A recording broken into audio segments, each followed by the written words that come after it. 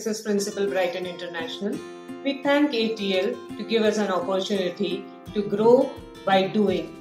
We thank ATL to make our children who move towards a more Atmanirbhar condition. Let they work out and let the teachers being together move and do it yourself to make the school grow more into a science oriented or scientific temperament oriented place as well as to produce more entrepreneurs. I sincerely thank ATL to give us a chance and choose us.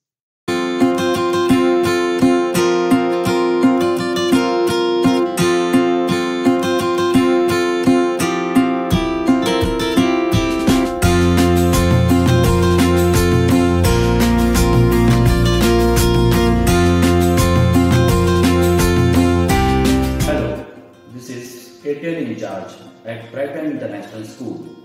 In this segment of video, I will explain how we are going to implement ATL at our school. Actually, we want to inculcate this thing as the part of academic curriculum from class 3 to class 12, which will be done in two ways. First, students training program and second, teachers training program, which will go simultaneously so that in the future we can have a STEM prompt team in our school which will help future science aspirants of our school. Thank you.